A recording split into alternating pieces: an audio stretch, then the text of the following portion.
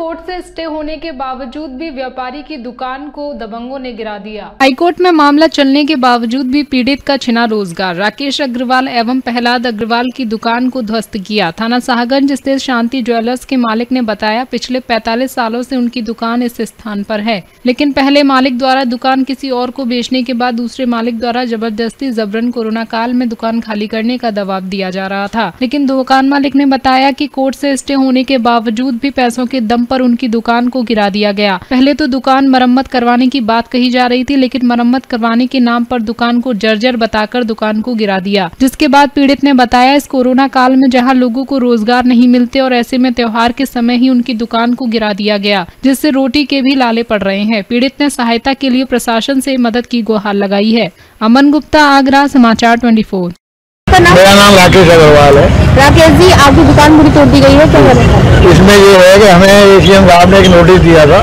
कि आपकी दुकान क्षतिग्रस्त है तोड़ दी जाएगी। उसके अगेंस्ट में हम हाई कोर्ट में गए हुए हैं। हाई कोर्ट में हमारी रेट चल रही है जिसका नंबर तैतीस दो सौ पैंतालीस। आज भी है वहाँ से कोई इस तरह का आदेश नहीं हुआ। तो उसमें डीएम ऑफ़िस के लिए एक नोटिस इशू हुआ कि आप जवाब दीजिए कि आप इसको कैसे घोषित कर रहे हैं टूटी हुई है। लेकिन उसको सारे को दरकिनार करते हुए मरम्मत भी करा एसीएम साहब ने ज़बरदस्ती हमारी दुकानों को तोड़वा दिया है। जबकि हमने सन 2009 में हमको सेशन कोर्ट से स्टे भी मिले हुए प्लस मरम्मत का आदेश मिला था तो हमने दुकानों की मरम्मत भी कराई थी। मैं ये पूछना चाहता हूँ आपके द्वारा एसीएम साहब से क्या 10 साल में मरम्मत करी हुई बिल्डिंग की राशि घोषित हो सकती है? मरम्मत कराने के नाम पर पूरी दुकान तोड़ दी गई है। मरम्मत नहीं उन्होंने सिर्फ़ सिर्फ़ इस वजह से तोड़ दी कि अनिल गुप्ता जो की दुकानों के मालिक है उसने वो कहा पैसा खर्च कराया मैंने। वो ये कहता है पुलिस प्रशासन मेरी जेब में है और मैं दुकानों को छोड़ो मैं तुम्हें भी तोड़वा दूँगा। और तुम्हारा जो इसमें ज्वेलरी का सामान है उसे भूल जाओ। वो तो अब मेरा हो गया। लाखों रुपए का है। लगभग पचास लाख रुपए की मेरी ज्वेलरी लगी हुई है। अगर आप चाहें तो तिजोरी खोल के देख सकते हैं। मेरे पास स्टे ऑर्डर है, फिर भी आज नगर निगम आकर मुझे बेदखल करने की कोशिश करता रहा। आप लोगों के आने की वजह से वो भाग गए यहाँ से, अधिकारी लोग नगर निगम के, वरना शायद आज हमारा भी अहित हो जाता। और हमारे बच्चे सड़कों पे हैं, और शायद ये हमें नाले में गुजर देते, आज आज हमको आत्महत्या ही करनी पड़ती। और इसका जिम्मेदार प्रशासन पुलिस दुकान मालिक होगा अगर हम मर गए प्रहलाद नारायण अग्रवाल हाँ पहला जी आपकी जो दुकान है किस की दुकान थी? ये साहब शांति ज्वेलर्स के नाम से थी साहब करीब कितने साल पुरानी करीब पैंतालीस साल चालीस साल तो हो गई दुकान पूरी तोड़ दी गई है? जी हाँ। तोड़ दी गई है? ये साहब मकान मालिक साहब से विवाद था वो पैसे से बहुत संपन्न है। हम लोग गरीब हैं तो उन्होंने नोटिस नोटिस दिए। हमने उसका जवाब भी दिया लेकिन हमारे पास धनबल नहीं था, बाहुबल नहीं था, धनबल नहीं था।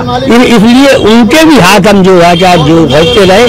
और आज के साथ कोरोना काल में प्रधानमंत्री जी, मोदी जी दस दस हज़ार रुपए दे गरीबों को रोज़गार दे दे रहे हैं। और जबकि हमारा रोज़गार छीन लिया गया है जो कि हमारे मोदियों पर खड़े होकर अपने दुकान रूपी टीले को निहारते हैं।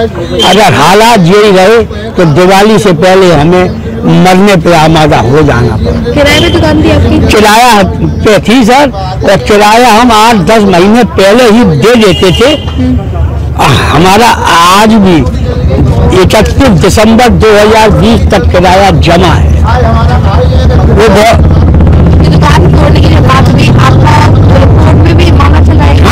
रहा है साहब आज भी चल रहा है और पहले भी चल रहा है। पहले भी चल रहा था आज भी चल रहा है और हमने हाथ भी छोड़े। बस ये सारा खेल जो हुआ है खेल भाई ये सारा खेल जो हुआ है वो आपने डीएम साहब से शिकायत डीएम साहब के पास गए थे।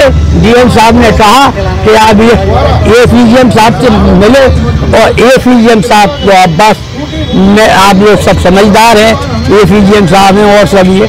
पुलिस, प्रशासन, सब कुछ, पर हमारे पास सब कुछ है। शरीर है, पर धन बल नहीं है। विद्या बल नहीं है भाव आगरा में पुलिस